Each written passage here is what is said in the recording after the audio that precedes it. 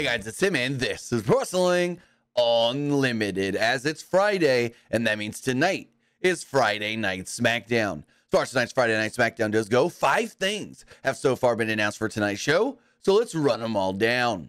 First off, we do know that Jade Cargill will make her first SmackDown appearance as an official member of the SmackDown roster. As far as action is concerned, first off, we do know that Bianca Belair will be going one on one with Dakota Kai.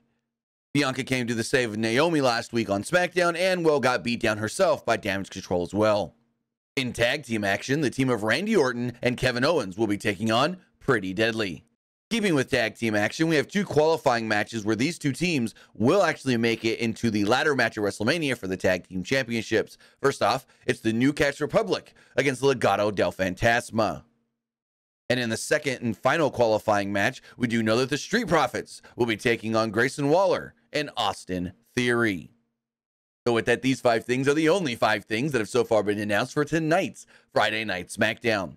With that, if we do hear anything further pertaining to tonight's blue branded show on Fox, we'll have it for you right here Wrestling Unlimited.